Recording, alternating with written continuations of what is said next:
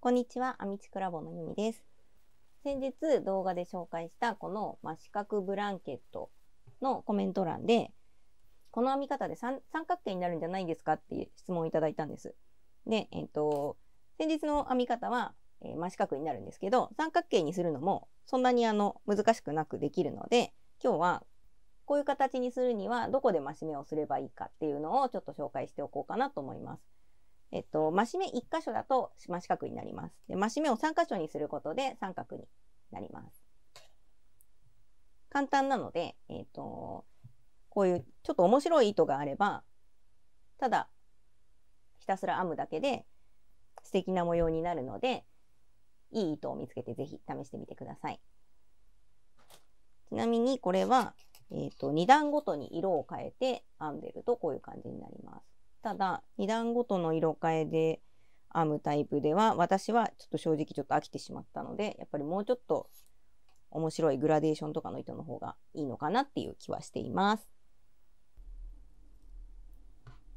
今回はあの編み方の動画の解説だけなので家にあった適当な糸を使いますけど、えっ、と本番のストールを編むときは糸に合った針を用意してください。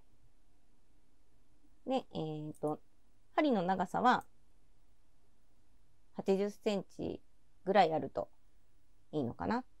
ただ、どんどん大きくなっていくので、えーだんだん針のこのコードが足りなくなってくるっていうことはあると思います。最初から長い針でも、あの、編めることは編めるんですけど、コードが邪魔に感じることもあると思うので、えー大きくなっていくにつれて針を大きいものにしていくといいんじゃないかなとは思います。じゃあやってみます。まず最初の作り目は3目からスタートしたいと思います。あ糸端側、糸端から15センチぐらい避けたところで、糸玉側の糸を左手の人差し指、糸端側の糸を左手の親指にかけてこのように持ちます。針を糸の上から当てて、くるっと回します。そしたら指でかける作り目を2回して、作り目を3目作ったところです。そしたら編み地を返します。で、最初の1段目だけちょっと変則的になります。まずは表編みを1回。そして次の目から3目編み出します。まず表編みの要領で1目編んだところで、左の針から目を外さずにマーカーを1つ入れます。そして糸玉側の糸を左針の手前に持ってきて、裏編みを編む要領で一目編みます。で、まだ左の針から目を外さずに、この糸を左針の向こう側に持っていって、表編みの要領でもう一目編みます。ここで初めて左針から目を外します。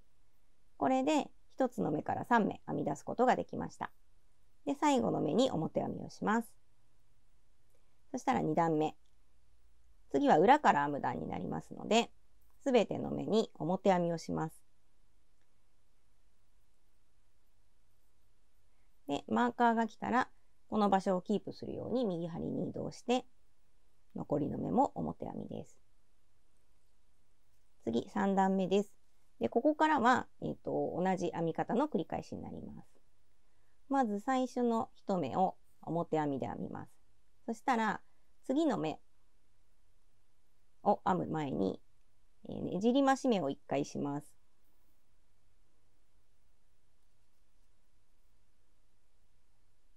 1目増やしました。そして、マーカーが来たら、一度マーカーを外して、まず表編みの要領で1目。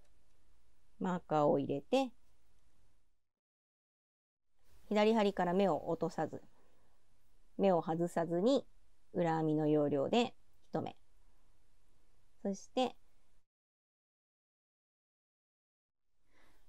まだ左針から目を外さずに表編みの要領で1目。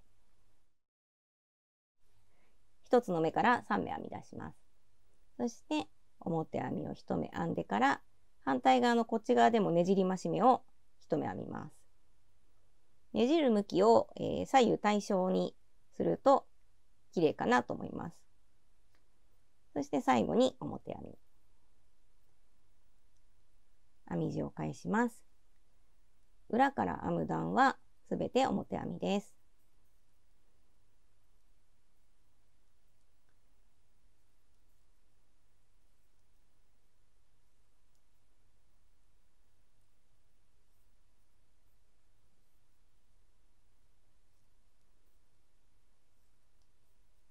はい、編み地を返します。で、表から編む段は最初に一目表編みをしてからねじり増し目。そしてマーカーが出てくるまで表編みをします。でマーカーの次のマーカーの次の目を、えー、3目編み出しの増し目をします。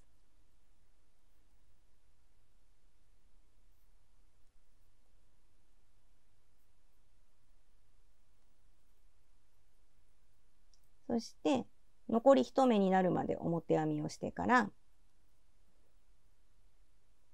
編み終わり側でもねじり増し目を1目編みます。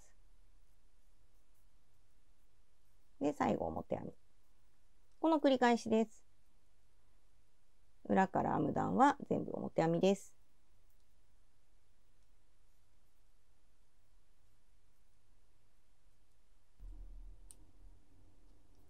こんな感じで編み始め側で1目と真ん中のマーカーのついてるところから、えーと、1目から3目にするので2目増やす形ですね。で最後この編み終わり側でも1目増やす。1段で1234目4目増やすと三角形になっていきます。というわけで、これを繰り返していけば、えーと、大きなサイズの三角ストールになります。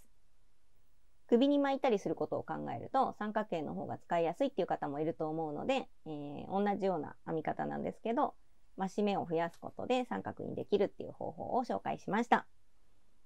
何か参考になれば嬉しいです。編み方に関するご質問などがありましたら、えー、コメント欄の方に書き込んでください。なるべく回答するようにしていますし、えー、もしわからないときにコメント欄を覗くと、もうすでにあの同じ質問があった場合には、えー、コメント欄を読むだけで、え疑問が解決することもあると思います。ぜひ活用してみてください。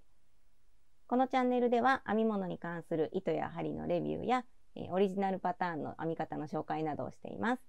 動画がいいなと思ったら、えー、ぜひチャンネル登録といいねボタンよろしくお願いします。それでは最後までご視聴いただきありがとうございました。